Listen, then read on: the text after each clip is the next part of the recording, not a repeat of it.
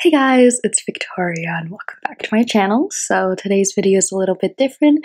I woke up this morning massively hungry and I was like, I want to show you guys how I make oatmeal. So that's going to explain this really cringy video coming up.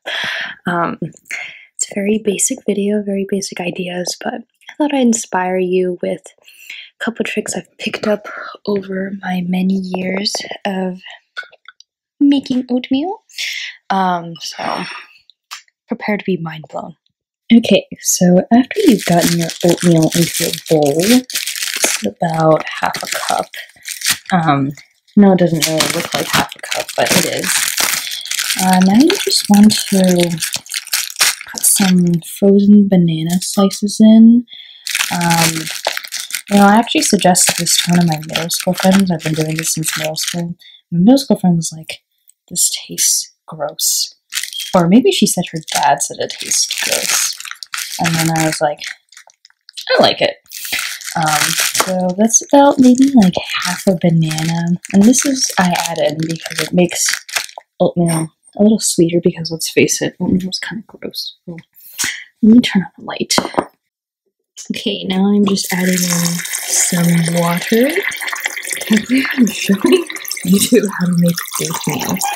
Um, yeah, now we're just going to, yeah, okay, this is enough water. Now we're just going to put it in the microwave for like, I think this amount requires about five minutes. So let's put it in and I'll show you guys what it looks like when it's done and then how to dress it up. So see you in five, six minutes. Alright guys, so as you can see, our oatmeal is done, and yes, I agree, this looks kind of gross.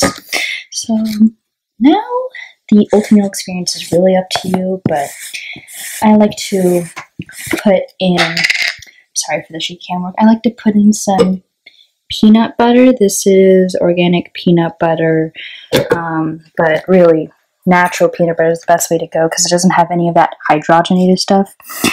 Um, now, I cannot film and scoop peanut butter out at the same time, so I'll show you what it looks like at the end. And then I also like to put in some cinnamon, and then after this point, I guess you could also put in like chia seeds. Um, yeah. And the finished product. Yeah, I didn't really mix in the peanut butter too much, but that's what it looks like. Let's have a taste. Alright guys, so hope you enjoyed that somewhat cringy video. um, I was gonna film up my ending of the video while I was eating the oatmeal, but then my mom woke up and I was like, I have no interest in explaining why I'm talking to a camera with a bowl of oatmeal in front of me. So I migrated to my room and there's this very bright lighting coming in and you can see my bookshelf behind me. So honestly that's probably more like breakfast one because i'm still kind of hungry so um, in a bit i'll go downstairs and make myself another breakfast but yeah.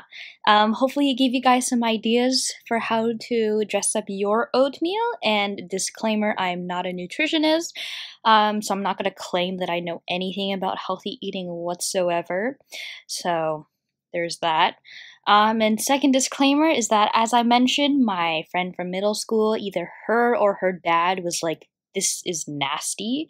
So if you eat it and discover that it's nasty too, I can't. Don't say I didn't warn you. but honestly, I think it's pretty good. So maybe my taste buds have adapted over these many years of eating oatmeal.